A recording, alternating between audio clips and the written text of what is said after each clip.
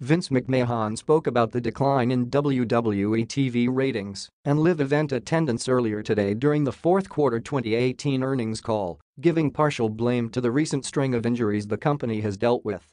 The discussion began when Vince was asked about Raw Women's Champion Ronda Rousey possibly leaving the company. Vince had major praise for Rousey, adding that WWE's Rondas will come and go, but the company will always work around those departures as long as they know the dates. The caller asked, Ronda Rousey. Again Vince, I don't know if you're willing to, this is maybe a little controversial for you, but Ronda Rousey was an experiment. She'd built her brand on a different platform, she brought it with her to WWE.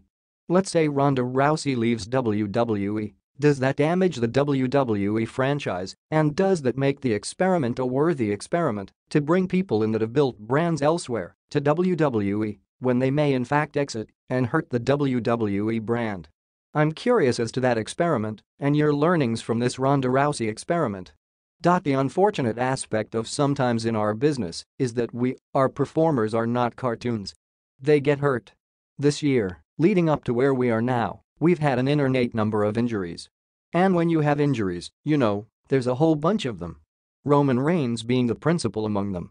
And even John Cena, not an injury type thing, but we thought we were going to have John be more of a part of our programming than we do. John, God bless him, is making more movies. And even John, I would think, would say, geez, I thought I was going to spend more time with what I love to do, which is WWE. So, he's been coming in and out, he's not really a part of out storyline.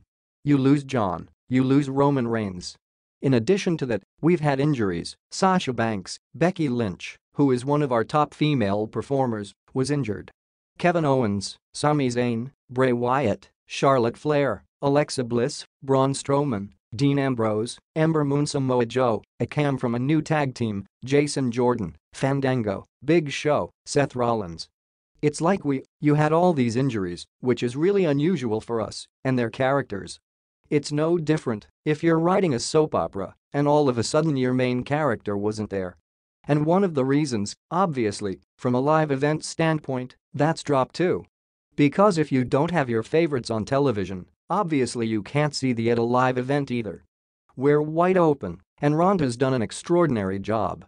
There will be other individuals coming from different areas that will join us on a long-term basis that will help us as well, Vince added.